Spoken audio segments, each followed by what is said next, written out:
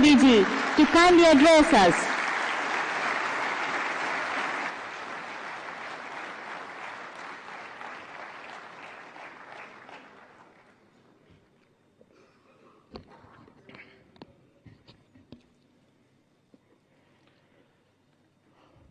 भारत के मुख्य न्यायाधीश श्रीमान डीवाई चंद्रचूड़ जी केंद्रीय कानून मंत्री मेरे साथी, श्री अर्जुन राम मेघवाल जी यूके के lord chancellor mister Alex Chalk attorney general solicitor general supreme court के अन्य सभी माननीय जजिज बार काउंसिल के चेयरमैन और सदस्य विभिन्न देशों से आए हुए प्रतिनिधिगण, राज्यों से आए प्रतिनिधिगण, देवी और सज्जनों, दुनिया भर की लीगल फेटर्निटी के दिग्गज लोगों को मिलना, उनके दर्शन करना, ये मेरे लिए एक सुखद अनुभव है।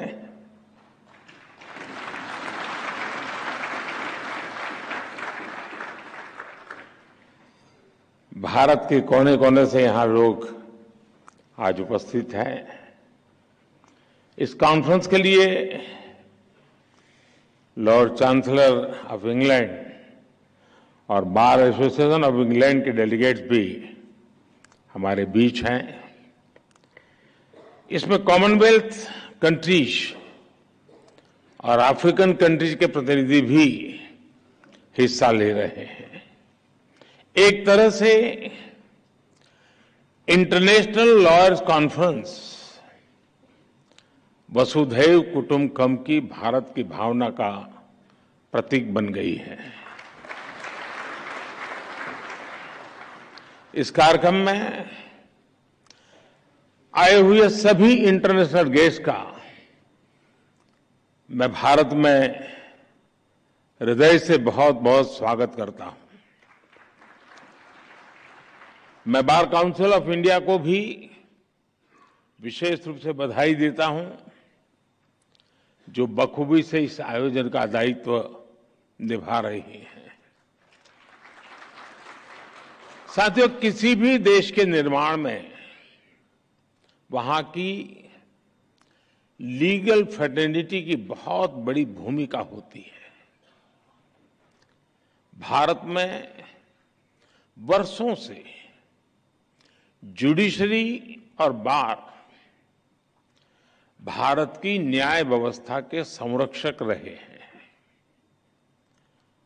हमारे जो विदेशी मेहमान यहाँ हैं उन्हें मैं एक बात खास तौर पर बताना चाहता हूँ। कुछ ही समय पहले भारत ने अपनी आज़ादी के 75 साल पूरे किए हैं। और आज़ादी की इस लड़ाई में लीगल प्रोफेशनल्स की बहुत बड़ी भूमिका रही है।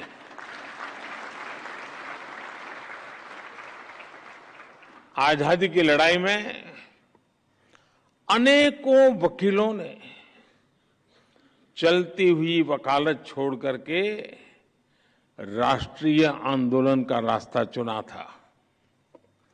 हमारे पूज्य राष्ट्रपिता महात्मा गांधी, हमारे संविधान के मुख्य शिल्पी बाबा साहब आम्बेडकर देश के पहले राष्ट्रपति डॉक्टर राजेंद्र प्रसाद, देश के पहले प्रधानमंत्री पंडित जवाहरलाल नेहरू, देश के पहले गृहमंत्री सरदार वल्लभ भाई पटेल आज़ादी के समय देश को दिशा देने वाले लोकमान्य तिलक हो, वीर सावरकर हो, ऐसे अनेक महान व्यक्तित्व भी वकील ही थे।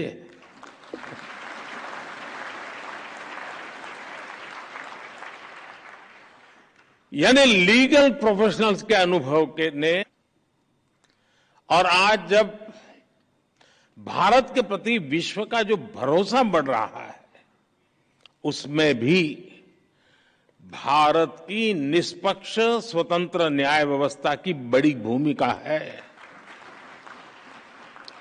आज ये कॉन्फ्रेंस एक ऐसे समय हो रही है जब भारत कई ऐतिहासिक निर्णयों का साक्षी बना है।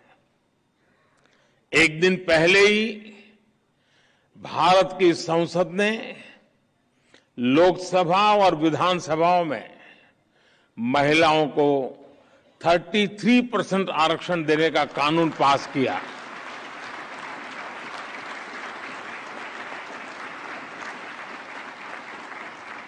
नारी शक्ति बंधन कानून भारत में विमेन लेड डेवलपमेंट की नई दिशा देगा, नई ऊर्जा देगा।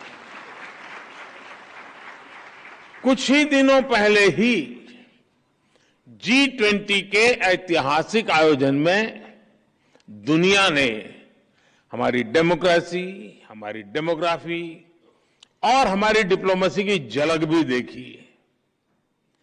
एक महीने पहले आज के ही दिन भारत चंद्रमा के साउथ पोल के समीप पहुँचने वाला दुनिया का पहला देश बन गया था। ऐसी अनेक उपलब्धियों के आत्मविश्वास से भरा भारत आज 2047 तक विकसित होने के लक्ष्य के लिए मेहनत कर रहा है। और निश्चित तौर पर इस लक्ष्य की प्राप्ति के लिए भारत को एक मज़बूत, निष्पक्ष, स्वतंत्र न्यायिक व्यवस्था का आधार चाहिए। मुझे विश्वास है इंटरनेशनल लॉयर्स कॉन्फ्रेंस इस दिशा में भारत के लिए बहुत ही उपयोगी साबित होगा। मैं आशा करता हूँ कि इस कॉन्फ्रेंस के दौरान सभी देश एक दूसरे की बेस्ट प्रैक्टिसेस से काफ़ी कुछ सीख सकेंगे। फ्रेंड्स 21वीं सदी में आज हम एक ऐसी दुनिया में रह रहे हैं जो डीपली कनेक्टेड है। हर लीगल माइंड या इंस्टीट्यूशन अपने जुरिडिक्शन को लेकर बहुत सचेत है। लेकिन ऐसी कई ताकतें हैं जिनके खिलाफ हम लड़ रहे हैं। वो बॉर्डर्स या जुरिडिक्शंस की परवाह नहीं करती। और जब खतरे ग्लोबल है तो उनसे निपटने का तरीका भी ग्लोबल होना चाहिए। साइबर टेररिज्म हो मनी लॉन्ड्रिंग हो आर्टिफिशियल इंटेलिजेंस हो, और इसके दुरुपयोग की भरपूर संभावनाएँ हो। ऐसे अनेक मुद्दों पर सहयोग के लिए ग्लोबल फ्रेमवर्क तैयार करना सिर्फ़ किसी शासन या सरकार से जुड़ा मामला नहीं है। इसके लिए अलग अलग देशों के लीगल फ्रेमवर्क को भी एक दूसरे से जुड़ना होगा। जैसे हम एयर ट्रैफ़िक कंट्रोल के लिए मिलकर काम करते हैं। कोई देश ये नहीं कहता, तुम्हारा तुम्हारा कानून, तुम्हारे यहाँ मेरा कानून, मेरे यहाँ जी नहीं, फिर किसी का जहाज़ उतरेगा ही नहीं। हर कोई common rules and regulations protocols का पालन करता है। उसी तरह हमें अलग अलग डोमेन में ग्लोबल फ्रेमवर्क तैयार करना ही पड़ेगा। इंटरनेशनल लॉयर्स कॉन्फ्रेंस इस दिशा में अवश्य मंथन करना चाहिए। दुनिया को नई दिशा देनी चाहिए। साथियों, एक अहम विषय ऑल्टरनेट डिस्प्यूट रिजोल्यूशन एडीआर का है। तुषार जी ने इसका काफ़ी वर्णन भी किया। कॉमर्शियल ट्रांजैक्शन की बढ़ती कॉम्प्लेक्सिटी के साथ दुनिया भर में एडीआर का चलन भी तेज़ी से बढ़ा है। मुझे बताया गया है, इस कॉन्फ्रेंस में इस विषय पर भी विस्तार से बात होने वाली है। भारत में तो सदियों से पंचायत के ज़रिए विवादों के निपटारे की व्यवस्था रही है। हमारे संस्कार में रहा है। इस इनफॉर्मल व्यवस्था को एक व्यवस्थित रूप देने के लिए भी भारत सरकार ने मीडिएशन एक्ट बनाया है। भारत में लोक अदालत की व्यवस्था भी विवादों को हल करने की दिशा में बड़ा माध्यम है। और मुझे याद है, मैं जब गुजरात में था तो एवरेज एक मामला का न्याय होने तक सिर्फ़ 35 पैसे का खर्च होता था 35 पैसे। यानी ये व्यवस्था हमारे देश में होती है। पिछले छह साल में करीब सात लाख केसेस को लोक अदालतों में सुलझाया गया है। साथियों जस्टिस डिलीवरी का एक और बड़ा पहलू है, जिसकी चर्चा बहुत कम हो पाती है। वो है भाषा और कानून की सरलता। अब हम भारत सरकार में भी सोच रहे हैं कि कानून दो प्रकार से प्रस्तुत किए जाए। एक, जिस भाषा पे आप लोग के आदि हैं वो वाला ड्राफ्ट होगा और दूसरा, देश का सामान्य मानवी समझ सके ऐसी भाषा।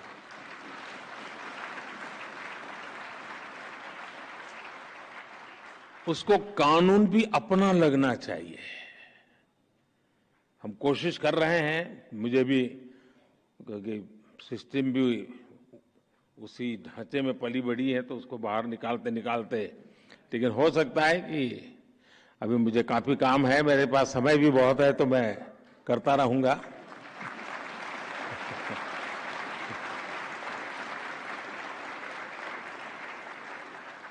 Modi ji, to kindly address us.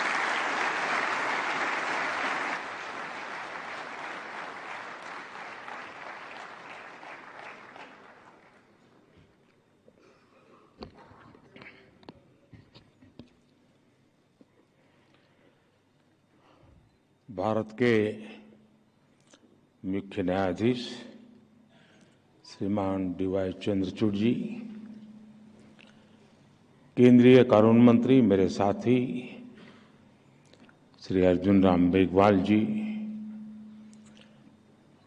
UK के lord chancellor mister Alex Chalk attorney general, solicitor general supreme court के अन्य सभी माननीय जजिज, बार काउंसिल के चेयरमैन और सदस्य, विभिन्न देशों से आए हुए प्रतिनिधिगण, राज्यों से आए प्रतिनिधिगण, देवी और सज्जनों, दुनिया भर की लीगल फेटर्निटी के दिग्गज लोगों को मिलना, उनके दर्शन करना, ये मेरे लिए एक सुखद अनुभव है।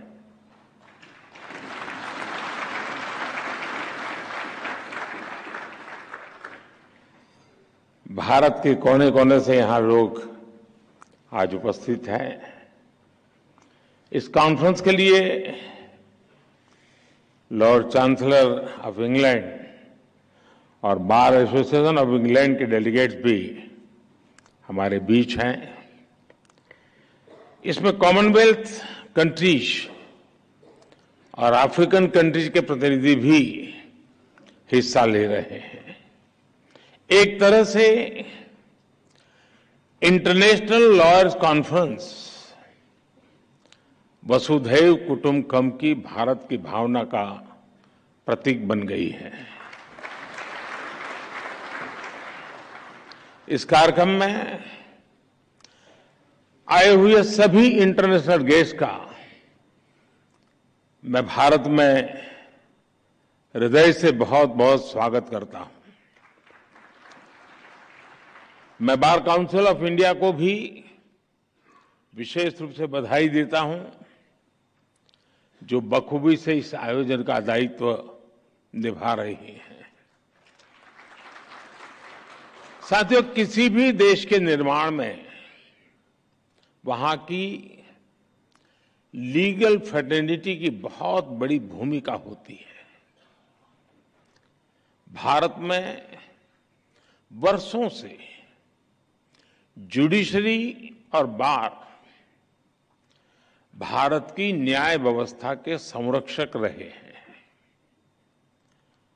हमारे जो विदेशी मेहमान यहाँ हैं उन्हें मैं एक बात खास तौर पर बताना चाहता हूँ।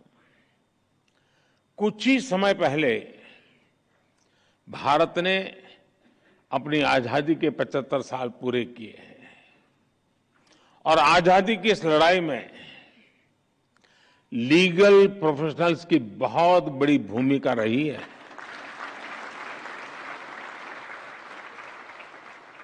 आज़ादी की लड़ाई में अनेकों वकीलों ने चलती हुई वकालत छोड़ करके राष्ट्रीय आंदोलन का रास्ता चुना था।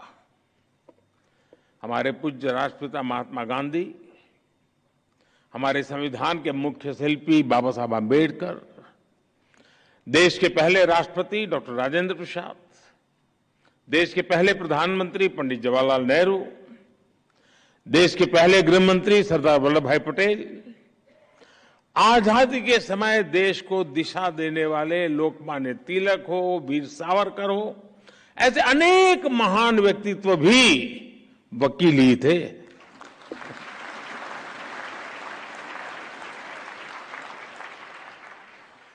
यानी लीगल प्रोफेशनल्स के अनुभव के ने और आज जब भारत के प्रति विश्व का जो भरोसा बढ़ रहा है, उसमें भी भारत की निष्पक्ष स्वतंत्र न्याय व्यवस्था की बड़ी भूमिका है। आज ये कॉन्फ्रेंस एक ऐसे समय हो रही है, जब भारत कई ऐतिहासिक निर्णयों का साक्षी बना है। एक दिन पहले ही भारत की संसद ने लोकसभा और विधानसभाओं में महिलाओं को 33 परसेंट आरक्षण देने का कानून पास किया।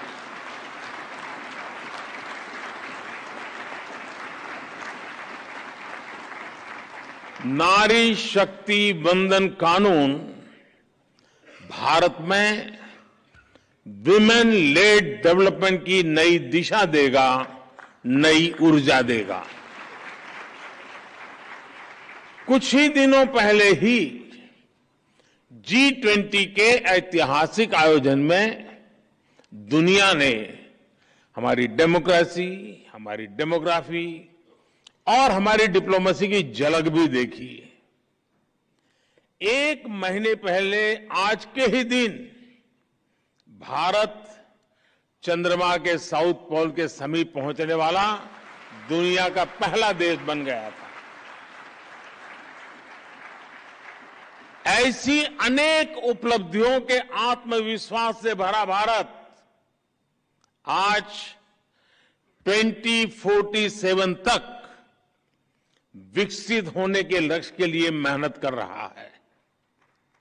और निश्चित तौर पर इस लक्ष्य की प्राप्ति के लिए भारत को एक मज़बूत, निष्पक्ष, स्वतंत्र, न्यायिक व्यवस्था का आधार चाहिए।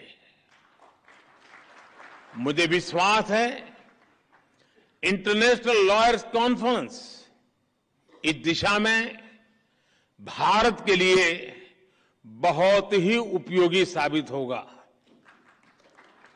मैं आशा करता हूँ कि इस कॉन्फ्रेंस के दौरान सभी देश एक दूसरे की बेस्ट प्रैक्टिसेस से काफ़ी कुछ सीख सकेंगे। फ्रेंड्स 21वीं सदी में आज हम एक ऐसी दुनिया में रह रहे हैं जो डीपली कनेक्टेड है। हर लीगल माइंड या इंस्टीट्यूशन अपने जुरिडिक्शन को लेकर बहुत सचेत है, लेकिन ऐसी कई ताकतें हैं जिनके खिलाफ हम लड़ रहे हैं, वो बॉर्डर्स या जुरिडिक्शंस की परवाह नहीं करती। और जब खतरे ग्लोबल है तो उनसे निपटने का तरीका भी ग्लोबल होना चाहिए। साइबर टेररिज्म हो, मनी लॉन्ड्रिंग हो, आर्टिफिशियल इंटेलिजेंस हो, और इसके दुरुपयोग की भरपूर संभावनाएँ हो, ऐसे अनेक मुद्दों पर सहयोग के लिए ग्लोबल फ्रेमवर्क तैयार करना सिर्फ़ किसी शासन या सरकार से जुड़ा मामला नहीं है। इसके लिए अलग अलग देशों के लीगल फ्रेमवर्क को भी एक दूसरे से जुड़ना होगा। जैसे हम एयर ट्रैफ़िक कंट्रोल के लिए मिलकर काम करते हैं। कोई देश ये नहीं कहता, तुम्हारा तुम्हारा कानून, तुम्हारे यहाँ मेरा कानून, मेरे यहाँ जी नहीं। फिर किसी का जहाज़ उतरेगा ही नहीं। हर कोई common rules and regulations protocols का पालन करता है। उसी तरह हमें अलग अलग डोमेन में ग्लोबल फ्रेमवर्क तैयार करना ही पड़ेगा। इंटरनेशनल लॉयर्स कॉन्फ्रेंस इस दिशा में अवश्य मंथन करना चाहिए। दुनिया को नई दिशा देनी चाहिए। साथियों एक अहम विषय ऑल्टरनेट डिस्प्यूट रिजोल्यूशन एडीआर का है। तुषार जी ने इसका काफ़ी वर्णन भी किया। कॉमर्शियल ट्रांजैक्शन की बढ़ती कॉम्प्लेक्सिटी के साथ दुनिया भर में एडीआर का चलन भी तेज़ी से बढ़ा है। मुझे बताया गया है, इस कॉन्फ्रेंस में इस विषय पर भी विस्तार से बात होने वाली है। भारत में तो सदियों से पंचायत के ज़रिए विवादों के निपटारे की व्यवस्था रही है, हमारे संस्कार में रहा है। इस इनफॉर्मल व्यवस्था को एक व्यवस्थित रूप देने के लिए भी भारत सरकार ने मीडिएशन एक्ट बनाया है। भारत में लोक अदालत की व्यवस्था भी विवादों को हल करने की दिशा में बड़ा माध्यम है। और मुझे याद है, मैं जब गुजरात में था तो एवरेज एक मामला का न्याय होने तक सिर्फ़ 35 पैसे का खर्च होता था 35 पैसे। यानी ये व्यवस्था हमारे देश में होती है। पिछले छह साल में करीब सात लाख केसेस को लोक अदालतों में सुलझाया गया है। साथियों जस्टिस डिलीवरी का एक और बड़ा पहलू है, जिसकी चर्चा बहुत कम हो पाती है।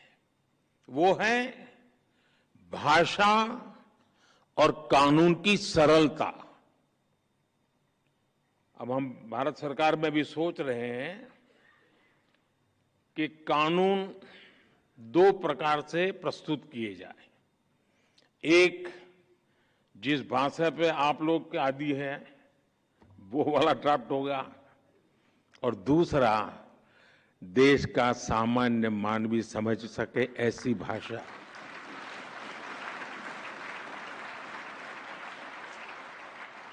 उसको कानून भी अपना लगना चाहिए। हम कोशिश कर रहे हैं, मुझे भी क्योंकि सिस्टम भी उसी ढांचे में पली बड़ी है तो उसको बाहर निकालते निकालते लेकिन हो सकता है कि अभी मुझे काफ़ी काम है, मेरे पास समय भी बहुत है तो मैं करता रहूँगा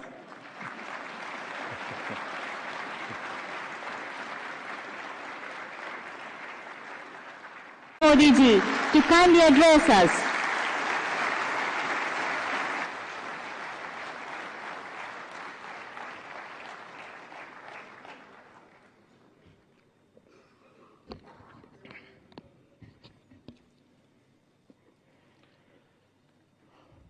भारत के मुख्य न्यायाधीश श्रीमान डीवाई चंद्रचूड़ जी, केंद्रीय कानून मंत्री मेरे साथी श्री अर्जुन राम मेघवाल जी, यूके के lord chancellor mister Alex Chalk attorney general, solicitor general supreme court के अन्य सभी माननीय जजिज बार काउंसिल